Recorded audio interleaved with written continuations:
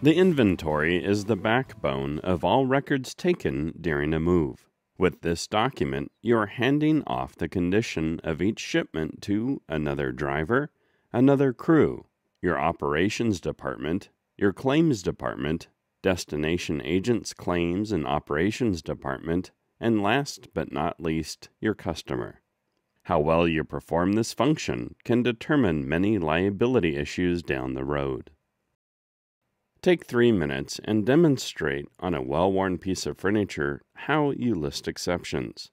Make sure the customer understands. Let's look at the descriptive symbols first. CP is carrier packed. Your company packed this box. When you see exceptions other than normal wear, you will list the section or the part of the furniture that has that exception.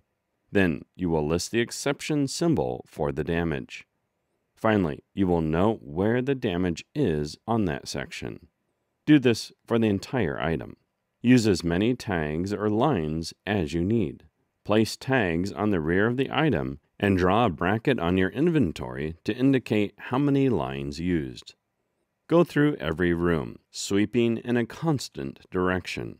Immediately list any item you tag. Coworkers may bring you pieces to tag and write up during a load. Do not get rushed. Complete write ups for any tags you have already applied. If you get ahead of yourself, you will miss an item which may get lost or claimed with damage that was already there. It is important for liability to ease and check off at final destination that your count is accurate. Now, here's the important part. As you finish each page, sign it and let the customer look it over.